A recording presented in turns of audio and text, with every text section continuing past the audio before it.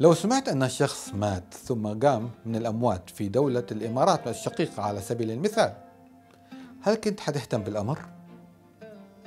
طبعا الخبر بالنسبة لك غالبا حيكون عادي أو شيق بعض الشيء مش أكتر لكن ليش كل البشر يتكلمون عن عن أهم حدث في التاريخ وهو موت الرب يسوع المسيح على الصليب وقيامته ليش هناك ناس يقدمون حياتهم لأجل هذه الشهادة وهناك ناس يهجرون من ديرتهم بسبب هذا الإيمان ليش؟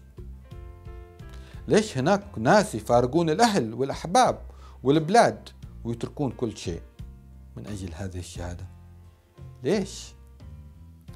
الجواب بكل بساطة لأن هذا الأمر تنبأ به أنبياء قدماء قبل المسيح وأكد عليه المسيح أثناء حياته.